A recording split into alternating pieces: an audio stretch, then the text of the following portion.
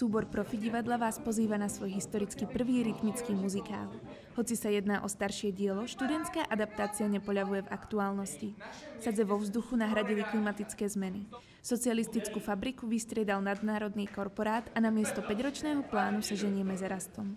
Na toto pojatie sa diváci môžu tešiť 15. mája o 5. a o 8. hodine večer v kabarete Depeš. Profi divadlo se chce vlastně vyvíjet každý rok dál a dál, každý rok chce něco přidat. Udělat muzikál nebo operu nebo takhle v našich podmínkách asi není úplně možný, ale ten rytmikál se vlastně nějakým způsobem udělat dá. Je naprosto perfektní.